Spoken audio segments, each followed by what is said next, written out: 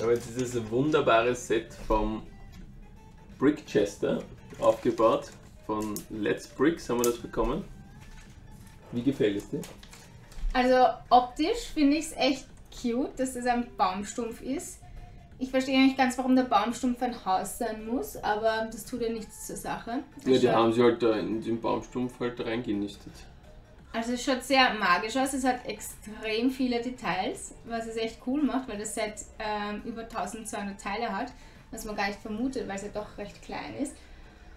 Ähm, ja, Ich muss sagen, ja, außenrum ist es eher echt schön gelöst, aber hier der Deckel irgendwie, also das Dach. Erstens kriegt das nicht gescheit fixiert. Man kann es nicht wirklich aufmachen und schließt nicht schön. Also da wäre also was anderes schöner gewesen, aber außenrum ist es echt schön. Ich kann nochmal den Kreis zeigen. Es ist echt sehr viele Details. Es ist teilweise mit der Anleitung schwierig zu bauen, muss man sagen. Wenn man halt nur Lego-Anleitung gewohnt ist, ist das dann eher nichts.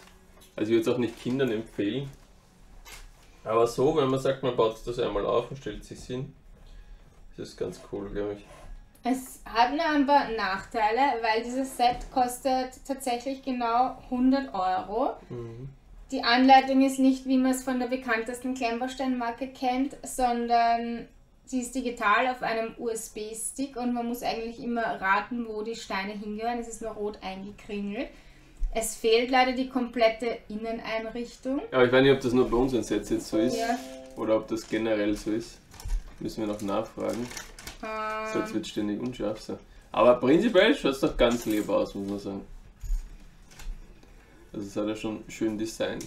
beim Schornstein fehlt leider, also ist die falsche Farbe geliefert worden. Das stimmt nicht. Also ja, warte, nur kurz zeigen.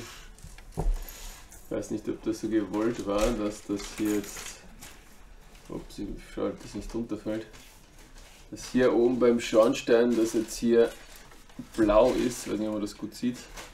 Sollte auf jeden Fall weiß sein und nicht blauer Rauch. Ich weiß nicht, was sie da verbrennen da drinnen.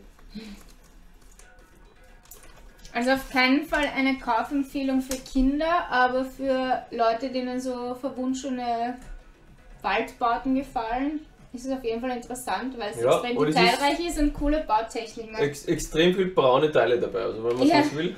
Man kann es in ein Schiff umbauen und so, und es sind wirklich viele Teile irgendwie übrig geblieben. Keine Ahnung warum. Und was auch komisch ist oder halt beim Bauen nervt ein bisschen, dass alle Teile irgendwie gemischt kommen und nicht nach System. Das heißt, man muss wirklich alle Teile, die dabei sind, am Tisch geben Ja, aber das sollte übrig und dann aufbauen.